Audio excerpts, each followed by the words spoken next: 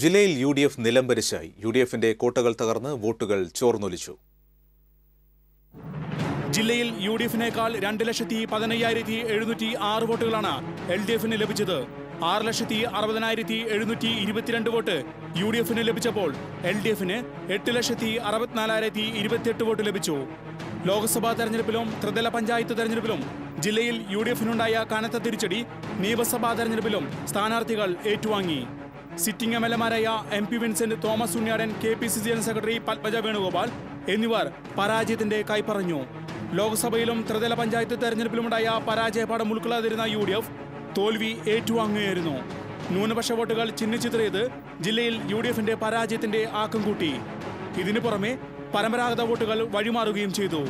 U D എഫിന്റെ വോട്ടുകൾ ചോരുകയും B J P B D J സഖ്യം വോട്ടുകൾ പിടിച്ചെടുക്കുകയും ചെയ്തോടെ ജില്ലയിൽ യു ഡി എഫിന്റെ പരാജയം പൂർണമായി. കോൺഗ്രസിലെ ഗ്രൂപ്പ് വഴക്കും കൊലപാതക രാഷ്ട്രീയവും സ്ഥാനാർത്ഥി നിർണയത്തിലെ കല്ലുകടിയും യു ഡി എഫിന്റെ തോൽവിക്ക് മറ്റൊരു കാരണമാവുകയായിരുന്നു. Political desk T